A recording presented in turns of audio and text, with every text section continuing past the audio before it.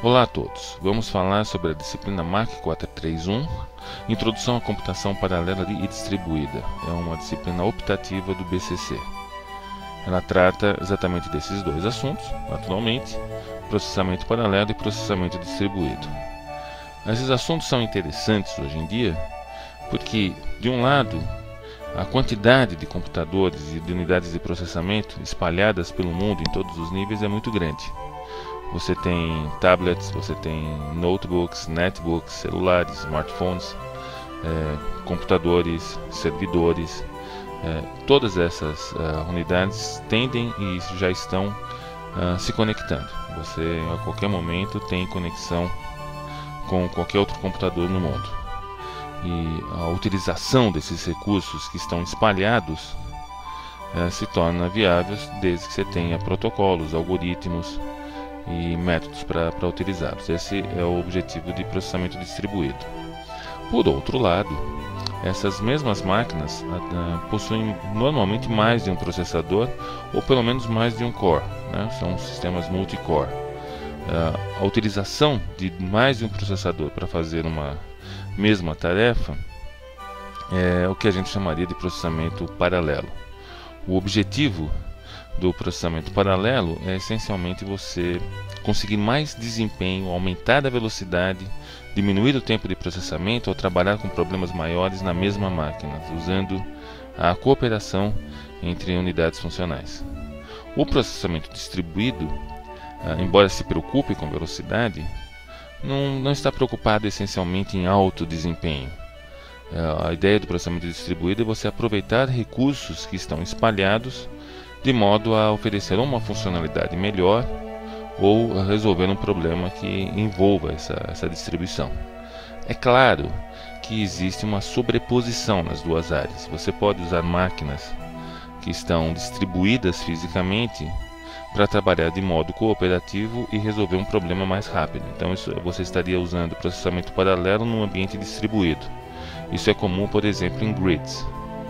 É, mas uh, podemos manter essa separação conceitual de que um busca desempenho e o outro busca uh, ubiquidade. Uh, para prosseguir na disciplina, para entender a disciplina, nós começamos com uma revisão dos conceitos de concorrência. A programação concorrente é essencial, porque você vai ter vários processos rodando, nesse, no nosso caso, simultaneamente uh, para resolver um, um, certo problema, ou na mesma máquina ou em máquinas uh, separadas. Então, para tratar o problema de sincronização, uh, é necessário usar técnicas desta área de programação concorrente. A visão que temos na disciplina é uma visão, nesse caso, bastante pragmática. Né? Não vamos avaliar toda a parte de programação concorrente, mas vamos ver o essencial para que possamos uh, uh, construir programas uh, sem os problemas de sincronização conhecidos. Uh, então vamos ver o tratamento de mutex, trabalhar com threads, uh, trabalhar com semáforos para poder prosseguir.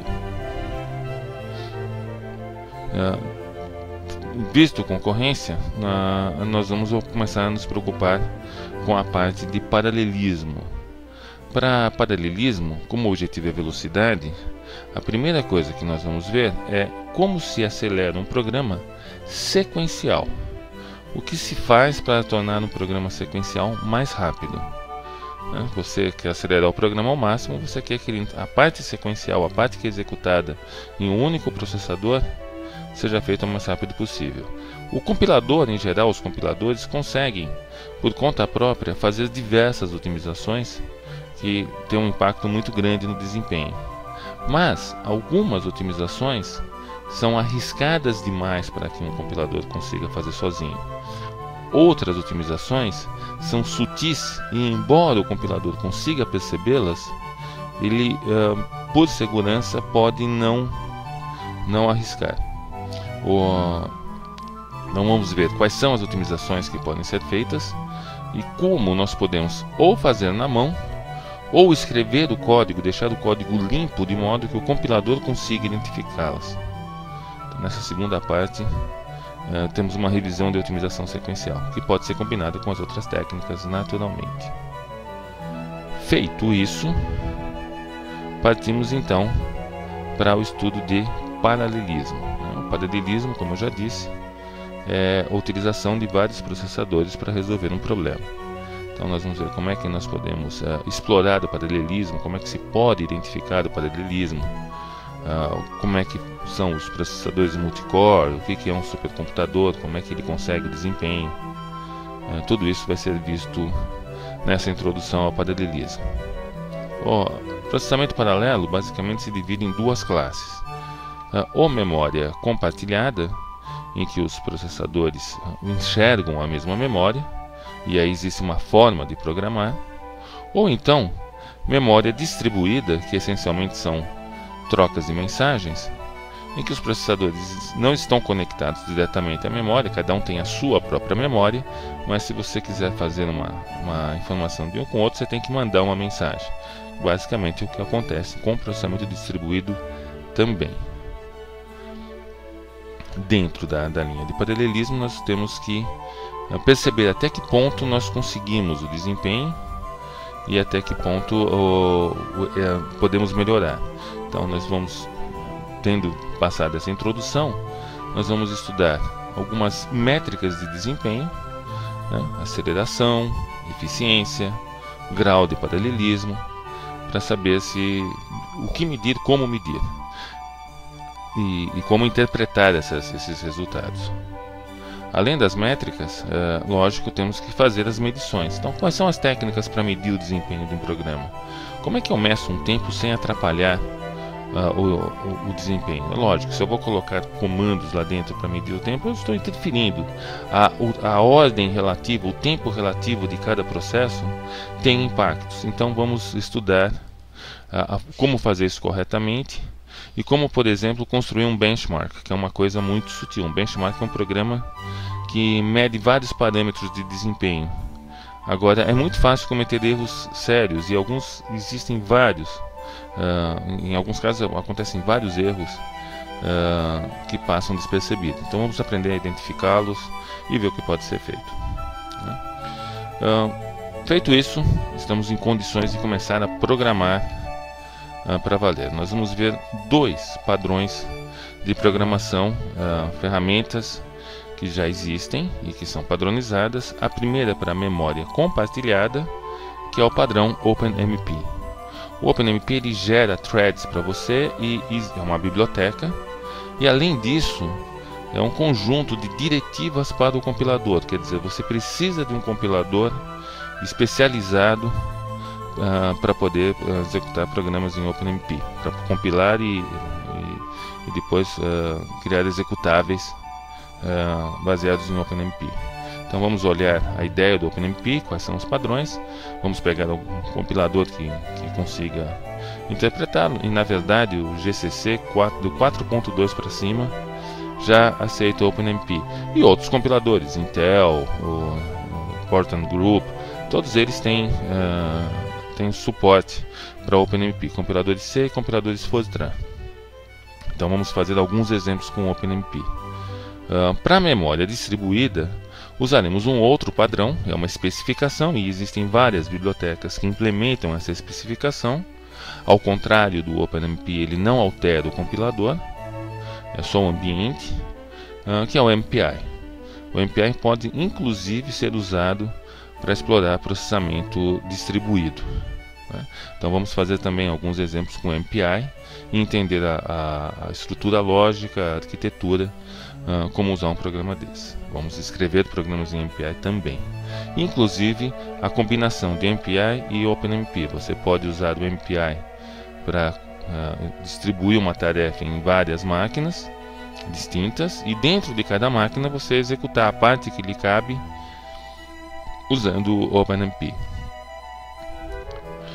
Existe um tópico bônus, que na verdade é um, é um sistema de processamento com memória compartilhada, mas com um número muito grande de cores, que são as GP-GPUs. Nós vamos dar uma olhada rápida. Uh, envolve uma programação um pouco diferente. São as placas gráficas de propósito geral. São elas têm se tornado cada vez mais populares pelo alto poder computacional e que agora pode ser usado para diversos tipos de computação, não apenas gráficos. Então vamos dar uma olhada também em GPGPU. Para o tópico seguinte, terminada essa parte, vamos falar um pouco então de processamento distribuído propriamente dito. No caso do processamento distribuído, nós vamos ter uma abordagem um pouco diferente. Vamos fazer uma abordagem um pouco mais conceitual. Isso é por uma questão de tempo também. Embora se veja algumas coisas de, de aplicações, mas uh, aqui nós vamos ver as técnicas gerais, como se programa para um ambiente distribuído, quais são os conceitos que estão envolvidos, uh, que suposições estão implícitas quando você desenvolve um algoritmo. É, é importante uh, notar que num ambiente distribuído, por exemplo, ao contrário do que acontece com o programa sequencial, não existe a noção de um estado global. A noção de, estado global até existe, mas ela não é detectável dentro do, do algoritmo. Nem sempre ela está bem definida. Então, como é que você trabalha com isso? E para treinar, para aprender isso e, e poder usar, nós vamos nos concentrar no estudo de alguns algoritmos, distribuídos os algoritmos mais básicos. Então, essa parte do, é basicamente uh, o uso e implementação dos algoritmos fundamentais. Em cima desses algoritmos você pode naturalmente construir uh, outras coisas. Então, alguns algoritmos que vamos ver, por exemplo, são esses três, mas isso aqui são só exemplos, existem mais alguns. Uh, eleição: você tem um conjunto de, de processos, né, cada um numa máquina, e de, você precisa que um deles assuma um papel principal. Ele vai ser um, um, um, oferecer um serviço ou então ele vai ser o coordenador e esse coordenador não está definido a priori. Você tem que no meio do processamento decidir qual é o novo coordenador. Isso então depende de uma eleição distribuída. No final tem que ter um único processador eleito e todos os outros têm que acatá-lo. É, não existe briga, eles são cooperativos, mas você tem que fazer de maneira que isso seja feito de forma é, eficiente. A ordenação de eventos é um outro problema bastante importante. É, existem várias trocas de informação entre processos diferentes. Como é que um processo que só a única informação que ele tem na mão são as mensagens que ele enviou e as mensagens que ele recebeu, como é que ele tem noção da ordem que todas as mensagens ou de todas as mensagens importantes uh, ocorreram? Como é que você consegue ordenar as mensagens que foram trocadas entre os processos, ah, de modo que todos os processos concordem com essa ordem, ou pelo menos concordem com as mensagens que lhe fazem, que dizem respeito. Veja, eu posso ter uma, uma mensagem que foi trocada entre o processador A e o processador B, e eu que sou o processador J, não receber essa mensagem, foi trocada lá. Mas essa mensagem pode influenciar na minha decisão, porque para a cadeia de eventos ela pode ter uma, uma, alguma importância. Eu quero saber a ordem que, a, que essa mensagem aconteceu em relação aos outros. Como é que isso pode ser feito? Então esse é um outro algoritmo vocês vão descobrir a resposta fazendo a disciplina. Tá? O outro, um outro problema que eu destaco aqui, os generais bizantinos, é um problema interessante. Você tem um, uma série de processos eles estão trocando informações, mas um processo é falho. Ou alguns processos são falhos. Ele manda mensagens incongruentes. Como é que o conjunto de processos, sem ter que recorrer a um, a um juiz externo, consegue descobrir qual o processo que é falho, tá certo? Se existem processos falhos e quais são. Então, qual é um, um algoritmo para isso? É, é também um algoritmo bastante interessante. Então esses e mais alguns vocês veem na, nessa mesma disciplina. Uh, lógico que agora vocês devem estar se preocupando, perguntando, tudo bem, nossa, o curso parece muito interessante, mas como é que é a avaliação? A avaliação não é muito criativa, é tradicional, é, provas e EPs, basicamente são as provas sobre o conteúdo da, da disciplina, e os EPs aí sim tem um pouquinho diferente. Existem ao contrário de ser um EP a cada, a cada parte, vão ser dois EPs normalmente. É, um EP sobre processamento paralelo e um EP sobre processamento distribuído. Dependendo do tempo, o, eles vão ser um pouco mais ou menos sofisticados. O EP de processamento distribuído é um, uma implementação de algum, algum algoritmo uh, dentro da, das, dos recursos distribuídos. No EP de paralelismo, como ele nós estamos procurando desempenho, normalmente é feita uma competição. Essa competição é, funciona da seguinte forma: você, é, eu, eu, o professor monta um problema, um problema de alto desempenho, ele pode ser um problema fictício, um problema real, uma adaptação, e a classe é dividida em grupos, e esses grupos vão tentar resolver esse problema. Uh, a ideia é tentar executar no menor tempo possível numa máquina padrão. Tem uma máquina que é disponibilizada para disciplina e vão, vão ser rodados todos os programas, o programa de, de, de cada grupo, uh, nessa máquina. Aquele que tiver o tempo mais rápido vai ganhar uma, uma nota maior. Uma fração da nota é definida em relação à velocidade de cada programa não vai, se você for o mais lento, se o seu grupo for o mais lento, você não vai reprovar por isso. É uma fração pequena da nota. O objetivo é dar um prêmio e também, uh, assim, o objetivo que está por trás é mostrar como a, a, a, ilustrar a sensibilidade dos tempos em relação às soluções. Vai ter gente que consegue um tempo muito mais rápido do que outro, apesar do esforço ser feito uh, comum né, um, um esforço compatível. Mas as ideias uh, são, são é muito sensível às ideias. Então é uma forma de validar aí os conhecimentos da, da disciplina. E bom, é isso. Esse é o, é o resumo de como a, a, disciplina tem sido dada. Uh, tem tido boa aceitação e eu espero que quem, quem vá fazê-la realmente curta bastante. Eu quero terminar só dando crédito uh, ao fundo musical que eu coloquei aqui. Né? Eu deixei desse site, está no Creative Commons. Uh, muito obrigado.